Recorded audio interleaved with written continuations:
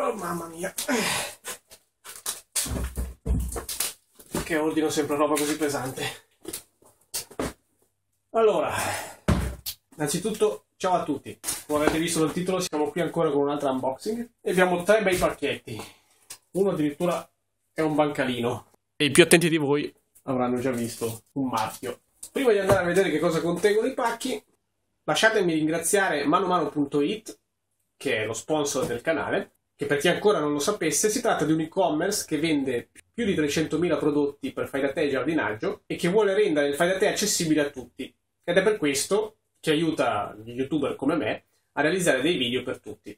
Quindi grazie ancora mano a mano per tutta la fiducia e tutto il lavoro che riponete nei miei confronti. E ora andiamo a vedere che cosa contengono questi bei pacchetti. Iniziamo da questa parte.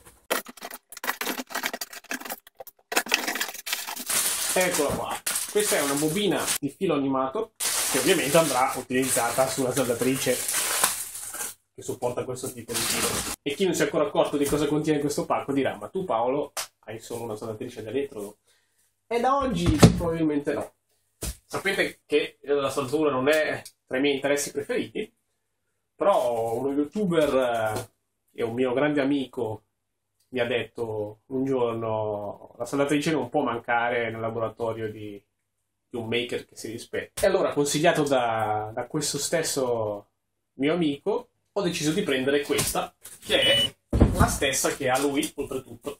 Ora vedete che addirittura me l'hanno bancalizzata, sotto abbiamo un bancalino per il trasporto, quindi questo comunque lascia intendere che ditta con la quale ho già avuto rapporti per altri motivi in passato è una ditta che ci tiene, infatti non ho mai avuto problemi. Se poi vi interessa il venditore, ve lo faccio anche sapere a chi interessasse nei commenti. Addirittura le assi di pallet anche sopra per proteggere. Mi conosce sa che riciclerò anche queste. È un signore imballaggio, ragazzi. Ok, vediamo se riesco a far cadere quello che non mi serve. Eccola qua. E finalmente ce l'abbiamo fatta ad aprirla. Qui troneggiano immancabili le istruzioni. Oh, ma questo io non lo sapevo, c'è anche la maschera inclusa. Io pensavo non ci fosse perché dalla descrizione non era menzionata, invece c'è anche la maschera. Io vabbè ho già quella dell'elettrodo. A questo punto meglio averne una in più. E poi vediamo cos'altro c'è. Forse i vetrini della maschera probabilmente. Ok, eccola qua. Si legge, non si legge. Deca Starflux 130 A, no gas con la sua bella torcia. Qui ho intravisto che c'è la pinza di massa e già montata c'è anche una bobina di filo animato da 0,90. 0,9 questa e 0,9 è anche quella che ho preso io. Ho preso questa attrezzatura perché a breve dovrò realizzare una collaborazione per la quale ovviamente non vi anticipo chi sarà l'altro youtuber a collaborare con me perché sarà una sorpresa vi posso anticipare solamente che è una persona che stimo moltissimo e che è un grande del fai da te. E quindi dicevo, avremo questa collaborazione dove eh, saranno richieste diverse saldature.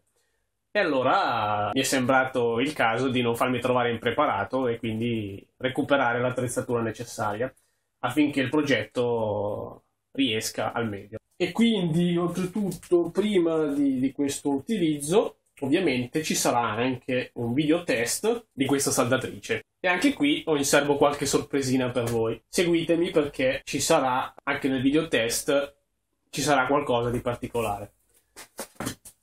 Ora passiamo all'ultimo. Qualcuno avrà già notato il marchio. Ed ecco qua che sbuca fuori.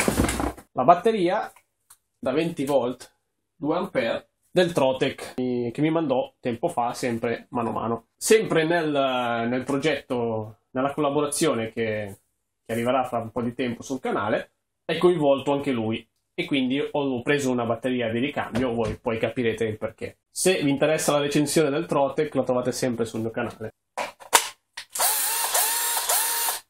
Questa è arrivata già carica.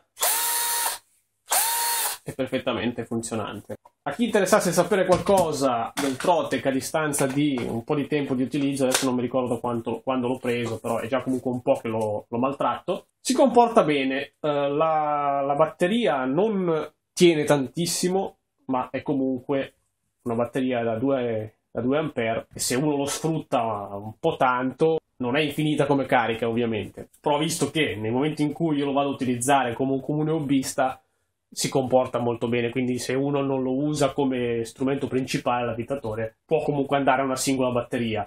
Per chi lo acquista comunque consiglio l'acquisto della seconda perché comunque fa sempre comodo, anche solo perché eh, nel momento in cui vi serve sarà, sarà molto probabilmente scarica e quindi è sempre bene averne una di scorta. L'unica cosa che ho notato, uh, a differenza di altri abitatori professionali che magari io ho qui in laboratorio, per citarvi un esempio da niente, questo abitatore della Milwaukee, l'unica cosa che ho notato a distanza di un po' di tempo e un po' di maltrattamenti, perché comunque lo vedete, eh, nonostante non ce l'abbia da molto, l'ho comunque già abbastanza usato, è che l'albero del mandrino ha un leggero gioco e eh, utilizzandolo come abitatore il problema non si pone più di tanto, ma utilizzandolo come trapano se dovete fare dei fori di precisione eh, la cosa un pochino ne risente. Cosa che invece su una, un abitatore professionale come questo, vedete che nonostante dopo anni e anni di utilizzo lui è ancora perfettamente fermo come quando è uscito dalla fabbrica. Però è anche vero che stiamo parlando di due abitatori di una fascia di prezzo decisamente diversa e quindi non è neanche corretto paragonarli. Poi fondamentalmente l'avitatore non nasce come strumento di precisione, quindi secondo me eh, a parità di prezzo vale ancora comunque la pena acquistare il Trotec. Vediamo cosa abbiamo all'interno dello scotch. Se sono i vetrini forse il caso che faccio i vetrini.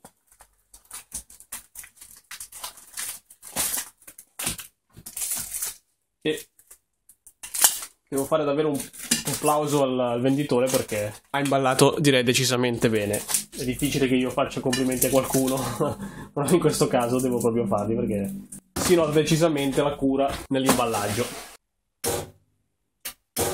La saldatrice sembra funzionare, sembra in perfette condizioni, anche di buona fattura. Io come avrete già visto in altri video ho una Deca d'Elettrodo e quindi diciamo che comunque sia il marchio Deca mi ha sempre ispirato fiducia e non mi ha mai deluso, ho deciso di optare anche per, per questa filo, sempre per la Deca. Speriamo di aver riposto bene la mia fiducia. Quindi, come ho detto prima, seguiranno il, il video poi del test della Deca. Quindi, per chi fosse interessato all'acquisto, non perdetevi assolutamente il video perché ho intenzione di, di, di testarla a dovere. Detto ciò, ringrazio ancora manomano.it per sostenere il canale e soprattutto ringrazio anche tutti gli iscritti che credono in me e credono nel mio lavoro. Un saluto da Paolo Brada e buon fai da te a tutti.